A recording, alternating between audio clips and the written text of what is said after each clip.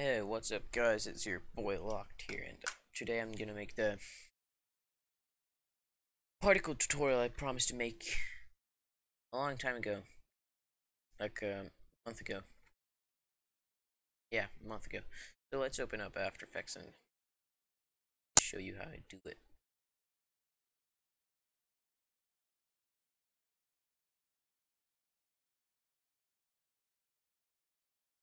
So now we're gonna do is not make a new comp, I'm just gonna add some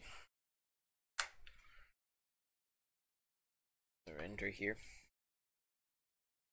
Doing this just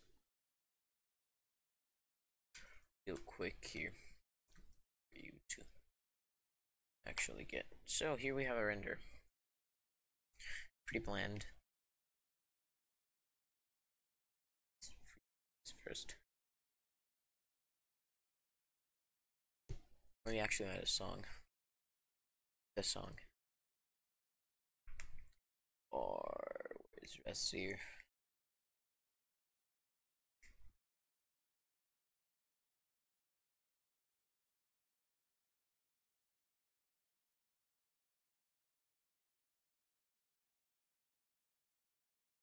Cannot find. Oh, there we go. So, Yeah,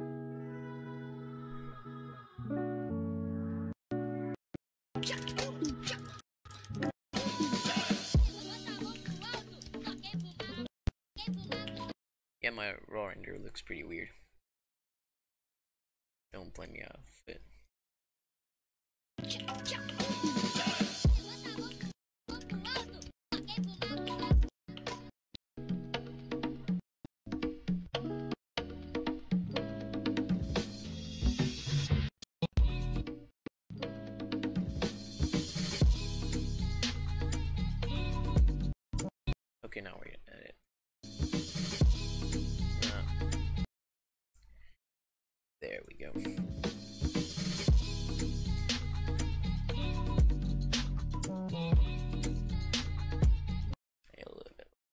So now that now that we have this, I'm gonna make a new solid called BG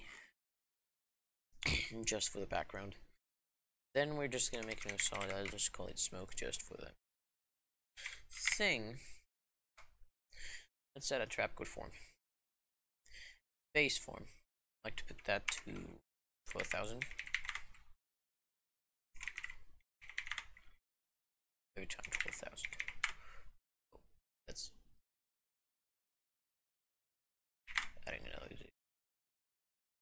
disperse, just put that on 50. Nobody actually cares about that. Particle cloud that size 100. Oof. Opacity. One. There you got your amazing smoke. JK. Just gonna make it tad better. 50. 165, 15 every single one of these. Should help us get a nicer result with 15 maybe like 8 sorry this sorry I'm just put it up at 800 8000 8000 8000 yeah, looks better. 200, 200 on the size, and boom. There we go. Opacity, maybe 0.7. Would do better. Then add a Gaussian blur. This one. 22 is what I like to do. Vector blur. CC vector blur. And go for direction fading. 100. Poof, you've got an ugly result. Well, I guess I could like this. If we put where like 12. add some resolutions. Like 2.5.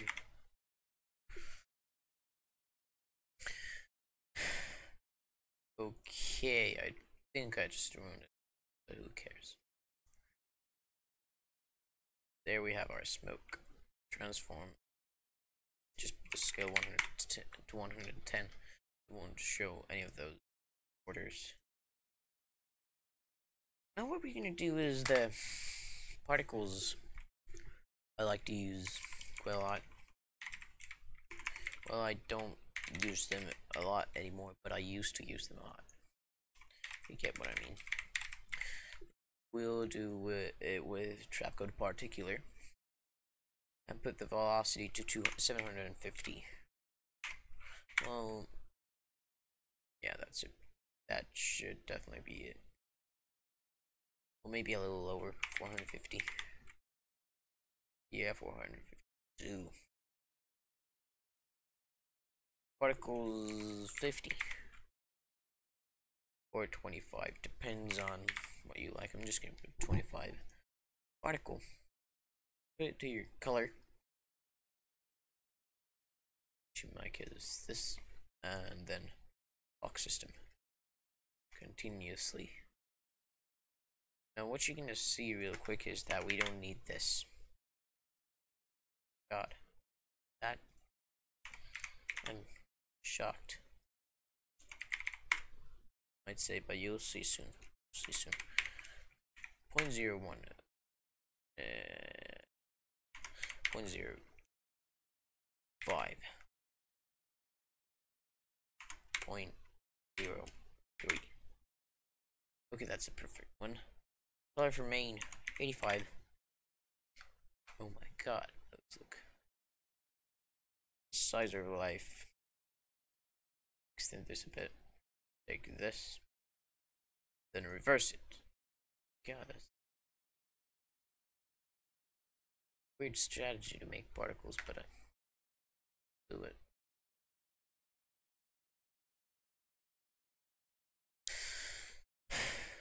Now that we have these weird particles going there and we want to copy the camera right over that. Select them both pre-compose it. Let's call this particular. Now we have it pre-composed relay eh? Well now what we'll do is actually go to rendering and add some motion blur because who doesn't like motion blur 0.5 oh that's not motion blur Wait, rendering. Motion blur oh there.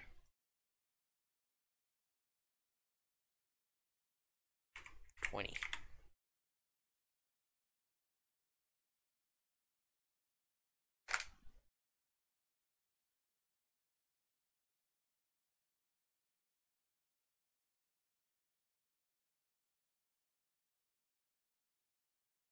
Aren't getting any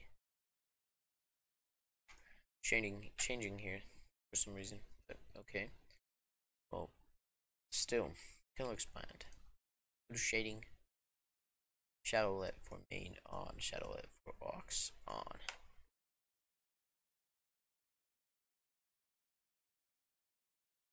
Then when we have those on, go to shadowlet settings. Put a frame where you can actually see some shadow. Here. Drag this back a bit, by the way, just to get it fully there. There we can see it. Just distance.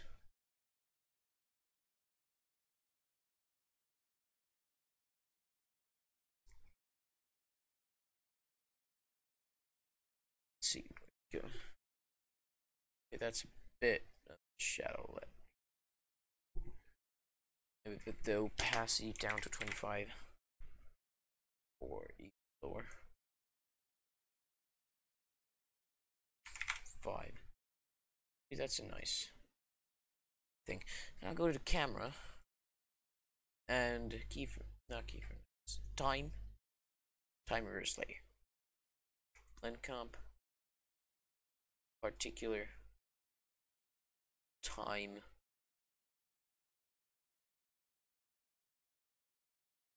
time reverse layer.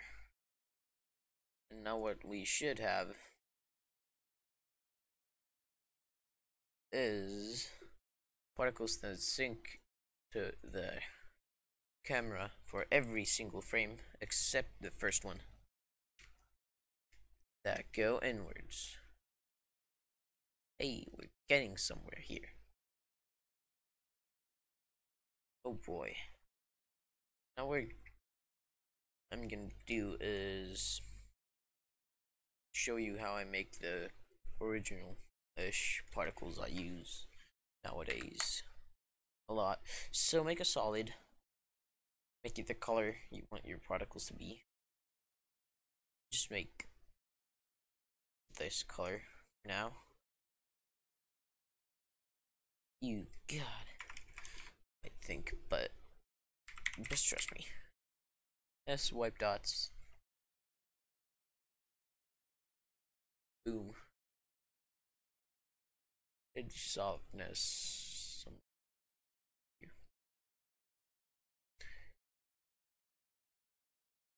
Dots either shrink or grow. I like to put it on grow because that makes it look a little different. That it's 3D, it's somewhere here like here. And maybe you could move this.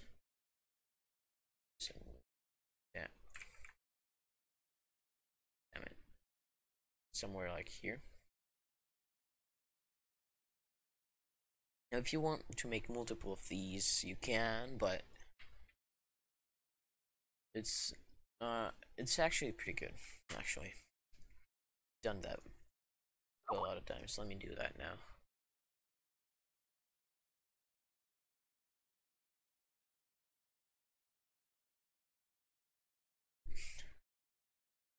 Three D and swipe dots.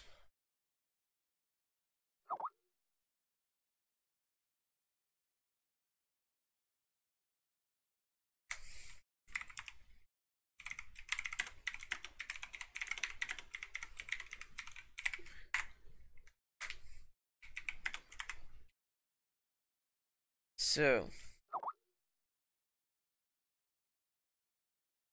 put this somewhere around here.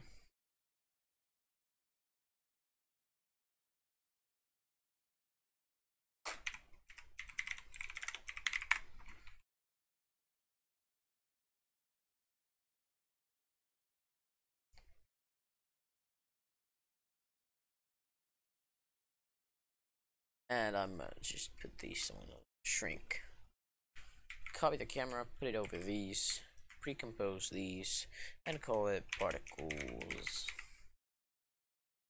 I know it might look weird, but add a CC vector blur.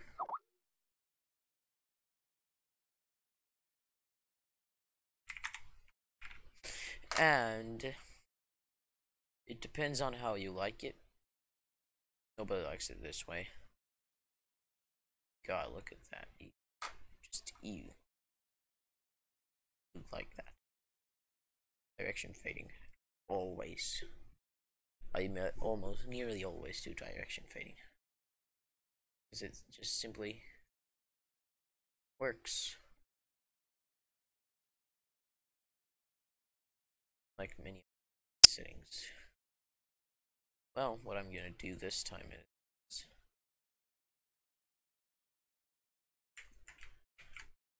remove that in composition because it kinda looked bad with them both being the similar similar thing. So I'm just gonna no.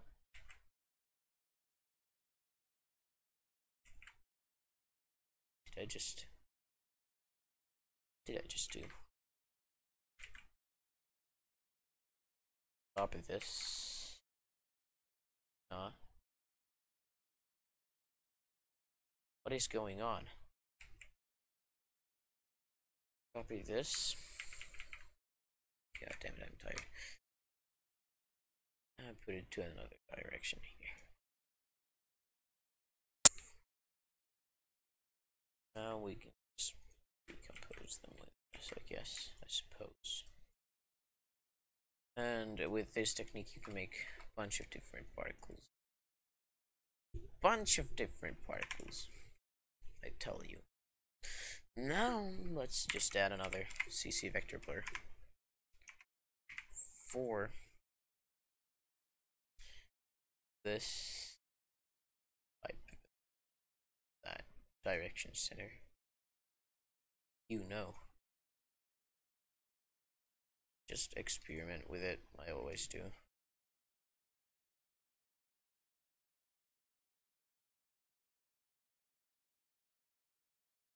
And yeah, that should almost be it for the tutorial because this tutorial also will tell you how to make a CC. You can also like these opacities with lower opacity just to get some swanky looks on it. And add some magic bullet looks here. Now what I like to do is just open it up and mess around with it. But because you're not me, you are likely some hopeless idiot who doesn't know how to make a CC or doesn't like experimenting. Just add a pop and add a rad exposure. Real rad one that comes out here. That doesn't make even sense the coding. Or just makes sense to some of the coloring like it's the opposite color of the color of the intro like or you know makes sense to color scheme. Next thing fill light just gonna take green like a but so bit but not much. Cannot kind of get light flex in this which is sad. Like real sad. The shadow's a little darker, the highlights a little brighter, all that stuff.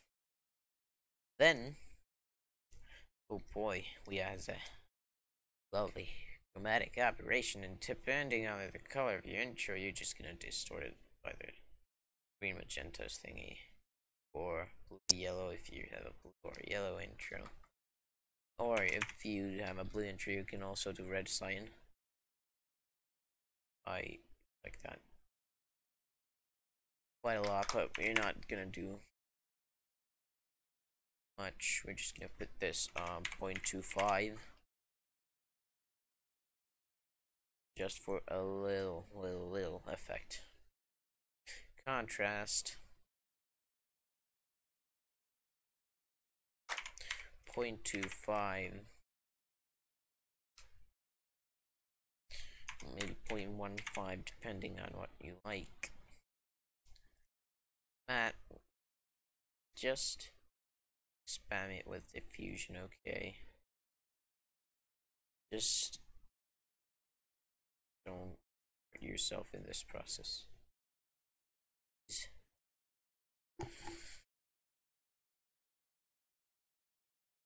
By spamming it too much, you're just gonna end up having a crappy CC. This makes no absolutely no sense. Just remove it. And another one. It has a lot of glow, but low grade. Like that star filter. And push, but real small and boost real down the lens. I don't know which softness. Probably. 0.7 quality on 10 and then add your bad lens vignette move it up. Ooh, not by the x-axis I meant by the y-axis Fuck. like so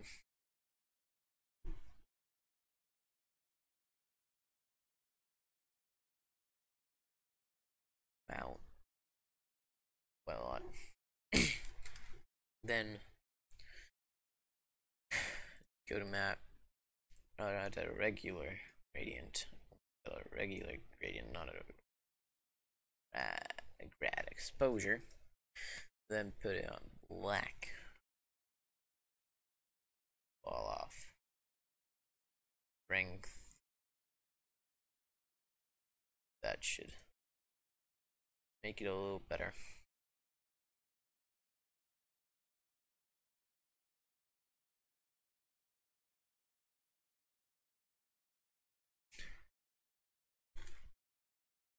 Oh boy. Sure cannot do a CC two strip process. This will just completely destroy your intro if you're using color palettes like me. Just don't unless you're cool dude goes by the mainstream and does all the same coloring here. Don't like I don't like that. Okay. Just don't. Okay. Exposure compensation point one over here. And then lens anamorphic flare. On some random color you like. Just it out because I don't want it here. Film negative. You. No, never do that. LUT. They're on MLO, something like that. My boy MLO is cool. Post. Duotone. Always do your duotone. It's like um, if you you'd have to choose between doing your duotone or your, or your homework, do the duotone. You're definitely not gonna regret it in later in life. Hashtag life advices with block darts. Oh boy. Add some renoiser. Sharpen it. JK, don't just put it on 10 or something. Then add some lovely four-way color. Doesn't love this stuff. Just to get some of that exposure on that. It's just right, you need it, but I'm just not gonna do that yet. Add some telesign net. You won't regret adding that telesign net because we're just gonna choose this and control C, control V. Toggle switches modes, soft light, boom. Just made it a lot worse. Oh boy, 25% opacity. Let me go to frame rate. It's actually visible. You can see the difference.